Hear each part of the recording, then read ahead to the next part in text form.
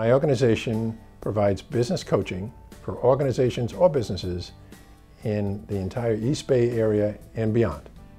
I'm never quite sure what a business or organization needs to fix, so what I do is help them define what those improvements are that they want to make.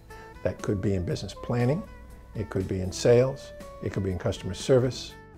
So what we come in, define the problem, and then help you develop goals with specific action plans to achieve the results you want.